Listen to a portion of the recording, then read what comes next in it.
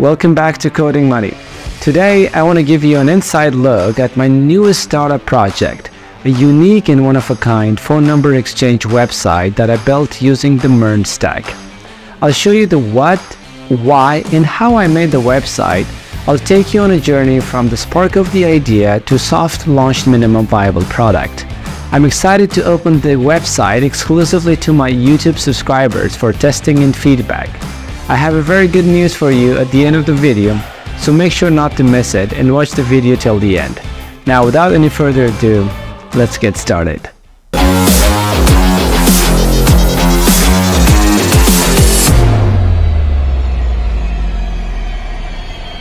Let's talk about the idea.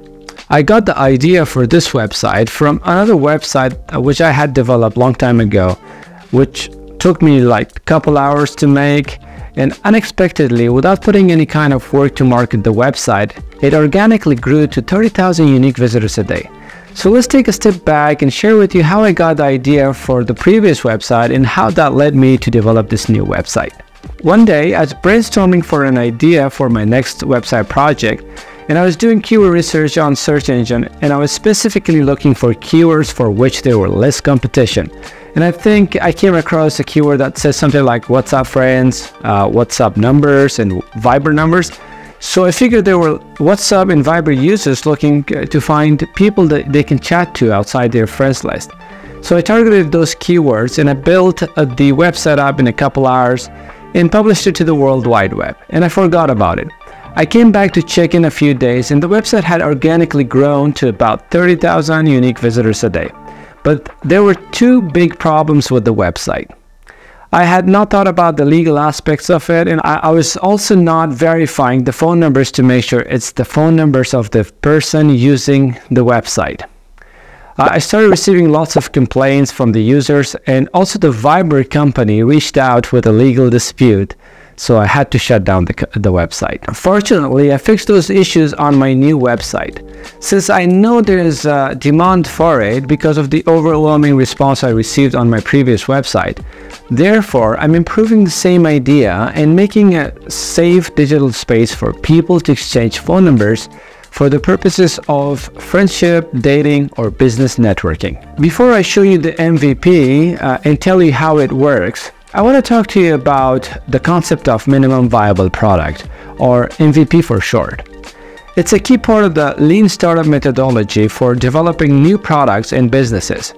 A minimum viable product is like a prototype uh, that has very basic features to effectively showcase your idea and validate if people want your product before you invest more time and money into fully developing it out. The advantage of an MVP is that you can gather feedback to improve your product. You can measure and learn what features really matter to your customers. Some examples of companies that famously started with a simple uh, MVP include Dropbox, uh, Groupon, Zappos, and Air Airbnb and more. Their initial product was very basic but enough to demonstrate the core idea to customers. Now let me show you the website and tell you how it works. I'll reveal um, the real reason for the project and also share a good news with you at the end of the video. You can access the website by opening your web browser and typing smsbz.com in the address bar. As you can see, I have a few members on the website already, thanks to my Facebook friends. Using this website is pretty straightforward. As you can see, there's our latest users who have verified their numbers. You can check out their profile and read about them.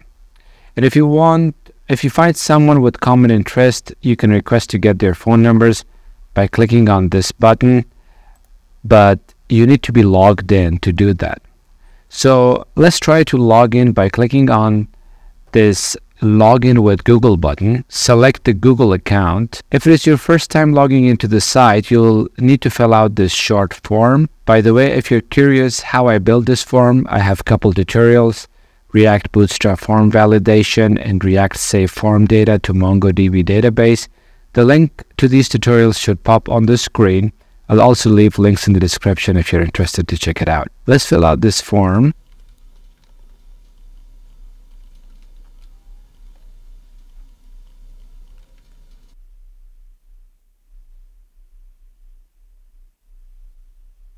I agree to the terms and privacy notice. Click continue. In this step, you'll need to verify your phone number. If you don't verify your phone number, your profile will not be activated. So enter your phone number Click request verification code. You'll get an SMS with verification code. Enter that code here. Click verify phone. Your phone number has been successfully verified and your profile is active now. That's good. If you use your phone number with any of uh, these services, you can check these options and click finish. You're directed to the home page. Now let's make a new friend. Let me check out this profile. He's a software engineer and he looks like someone I can develop some projects together with. So I'll request to get his number. I can write an optional message here. Click send request. Now he will get an SMS notification regarding my request. He can either accept or reject my request. If he accepts the request, our phone numbers will be exchanged and we can text or call each other. I encourage you to try it out and let me know if you encounter any issues. I would also appreciate your feedback and suggestions for new features in, in the comment section. Okay, let's talk about the target audience. Uh, my target audience is primarily uh, in Middle East uh, and Asian countries such as India, Pakistan, Iran, Afghanistan, Tajikistan, and others. I understand that some people might uh, be hesitant to use the website due to privacy concerns. That's perfectly understandable. And I encourage everyone to make informed decisions about how they share their personal information online. However, I believe this website can be a valuable tool for people in many different regions, and I'm committed to creating a safe and secure experience for all the users. Let's talk about the tech stack. I went with the MERN stack to build the platform because I wanted it to be fast and scalable in the future. I used MongoDB to store all the data like users and profile information, etc. Express for the backend APIs and routing. I used React.js for the front end, and I, I built the uh, UI components uh, using functional components. I use Node.js for the server environments. I like Mern because it's JavaScript based, uh, which allows me to use JavaScript uh, and uh, use uh, code between the front and the back. I want to tell you a little bit about the tech stack of smsbusy.com website and how all these different components and technologies communicate. If you're here watching this video right now, chances are you've tried to find resources previously to figure out exactly how to get React to work with Express, or how to get React to work with MongoDB or Express with MongoDB, I found over time that there's a lot of content specifically around like how to use React or videos on how to use Redux or a course on how to use Express. But it seems like there's really not a lot of content out there that tells you how to use all these different technologies together. So that's going to be the primary concern of this section of this video. I want you to walk away having a really good idea of how all these different pieces work together to make a real application. That's going to be the number one goal for me in this section. Okay, so with that in mind, let's get through this diagram really quick. Whenever a user navigates inside of their browser to our domain, smsbusy.com, we're going to send them back an HTML document and some JavaScript files that contain a React application so when a user goes to smsbusy.com, we're going to send them some files that will get some content or some HTML to appear on the screen. That's going to be the React side of our application. Now, the React side of our application doesn't really know exactly what to show to the user. It needs some amount of data to show the right stuff, right? Like if you want to show the latest list of users who signed up on our website, the React side of our application has to get this information from somewhere in our application. We're going to use MongoDB to record and store all the different users and their profile information and the number of requests they send and receive over time.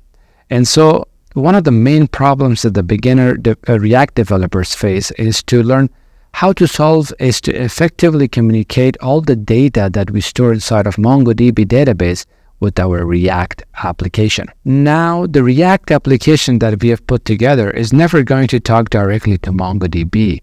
Instead, we're going to put an Express API between the React and the MongoDB. This Express API is going to contain a bunch of business logic to take the incoming request from our React application, pull some information out of the MongoDB database, and then send that information back to the React side of our application. So essentially, you can imagine that a user visits smsbusy.com inside their browser. We send them the React application. The React application boots up and it asks the Express API for some data. The Express API pulls some information out of the MongoDB database and then it sends that all back to the React application where it is then used to show some content on the screen to the user. Now the Express API in the React application are gonna communicate entirely through HTTP requests or AJAX requests. Every single one of these requests is going to contain some little amount of JSON. The Express API in the MongoDB, on the other hand, will be communicating through uh, a little bit more internal system of communication. Like I have routers, controllers, and I've created a model here that uses the Mongoose library that contain rules for getting data into and out of the MongoDB database. But I don't want to make this diagram complicated and make this video very long just a very high level overview of how uh, the application is laid out and how things are going to be talking together really at the end of the day. What I want to communicate right now is that the React application will not talk directly to the MongoDB database. Instead, there is going to be this Express API setting uh, between the two so I think that's enough on kind of high level overview for right now.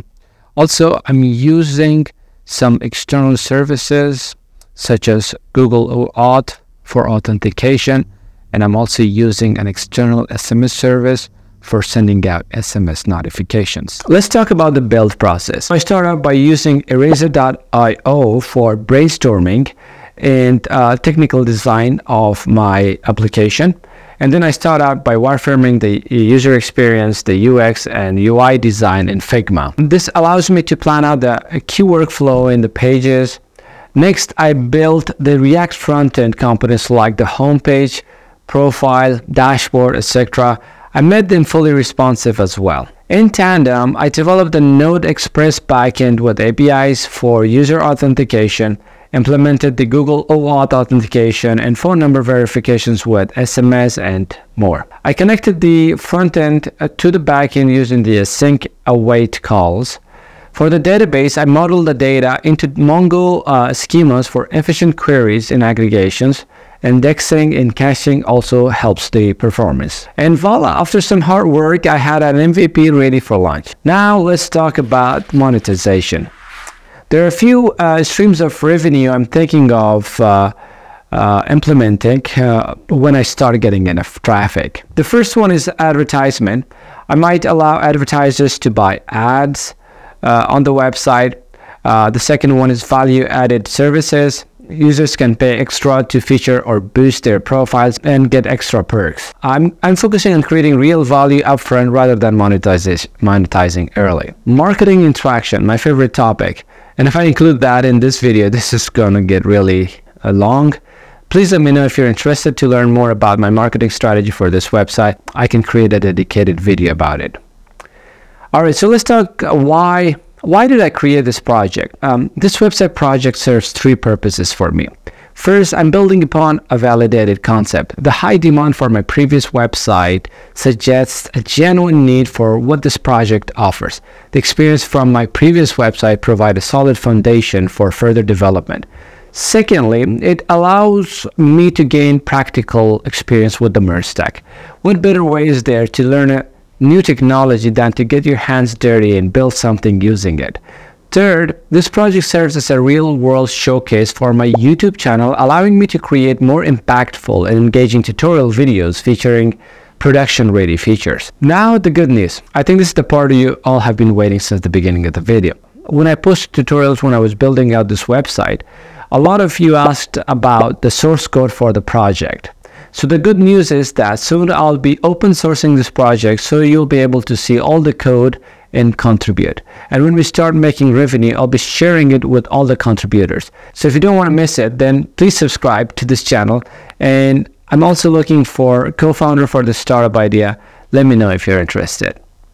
There are definitely lots of improvements to be made, but overall, this has the potential to be a great business, and I'm excited to see where we can take it next. If you found this video useful, a thumbs up would be highly appreciated, and don't forget the usual stuff. Subscribe and hit the notification bell icon. This really supports the channel and helps me create great content for you guys. Trading.